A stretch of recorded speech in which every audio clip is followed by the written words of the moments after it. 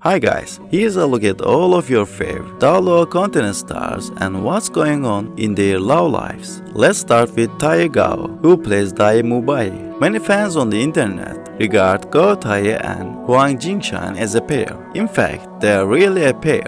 They've been together for 5 years already, loved and accepted by the fans, but not their family.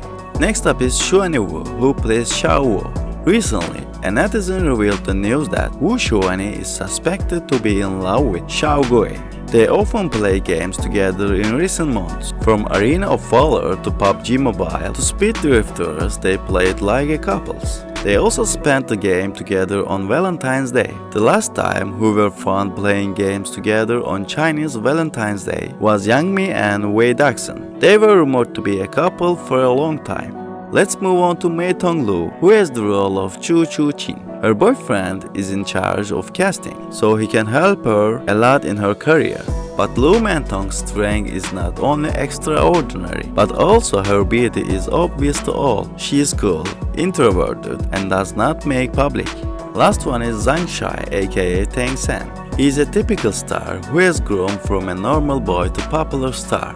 Especially after the broadcast of the Untamed, his popularity exploded. In fact, he had a girlfriend previously during his college days. Recently, a netizen dogs Xiao Zhan's early social account records. He accidentally found he had a girlfriend in college. He has also posted a lot of photos with his ex-girlfriend. Xiao Zhan is a young boy, shy boy, smiling brightly in the photos. The girl on the side has long chestnut hair and is supposed to be a very pretty girl.